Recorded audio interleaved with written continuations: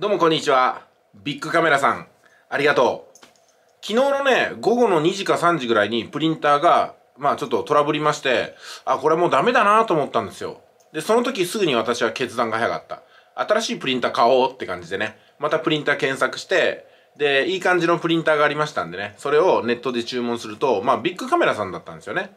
ビッグカメラさんは以前も何回か、あのー、通販を利用させていただいたんで、安心してね、買うことができたんですけども、この 052A っていうね、プリンターのタイプ。見てください。新品で届きました。新品。当たり前ですけど新品です。ビッグカメラさんに在庫にあったやつです。販売がこれ2022年らしいんで、ちょっと前のやつなんですよ。でも、十分いいですよね。で、今まで6色使ってたんですけども、この度ね、4色にしました。別にもう6色である必要私もないんでね。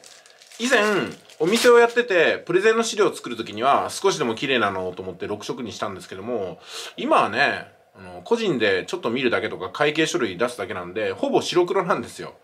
まあですんで、4色でも多いぐらいです。いやでもね、ほんとすごいなと思うのは、新品が、あの、去年とか2年前の新品が今買えるってことなんですよね。で、価格がね、6000何がしですよ。7000しなかった。送料無料。安いですよ。うん、だから今後はね、私ね、純正のインクを使います。今まで互換性インクを安いと思って買ってたんですけども、安くなくなってきたんですよ。互換性インクも。で、互換性インクのレベルが悪い、今は。最初は良かったんですけども、本当にね、インク1本100円か200円でバンバン出てたんですけども、今はね、インクがすぐにね、ダメになって乾いたりとかして、本当ロスタイムがすごく多くなってきたんでね。で、この度このエプソンの EW052A にしまして、これで快適にね、ちょっとプリンターライフが送れるんじゃないかなと思っております。何がすごいかっていうと、私のところに届くのに24時間かかってないんですよ。だからね、昨日プリンターが壊れたなと思って、家電量販店に私がえっちらおっちらって言って、帰ってくると、それだけでも数時間、3時間ぐらいは取られるわけじゃないですか。これは、チャッチャッチャッとパチって発注して終わりですからね。うん。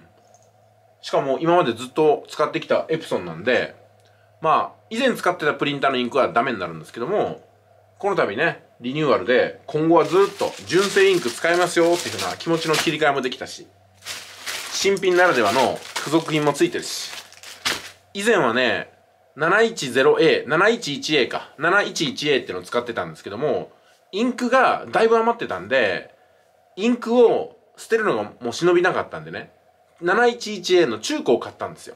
その中古の寿命が今回1年とかね、1年半ぐらいだったんで、まあ、銭失いとは言わないけども、うん、まあまあちょっと遺恨が残ったなと思いますね。今回新品なんで、多分、ここからね、5年とか、下手したら私が60歳になるまで使えるんじゃないかなと思ってますね。はい。えー、ということで、ビッグカメラさん、ありがとう。エプソンのプリンター届きました。すごく早く届きました。お疲れ様です。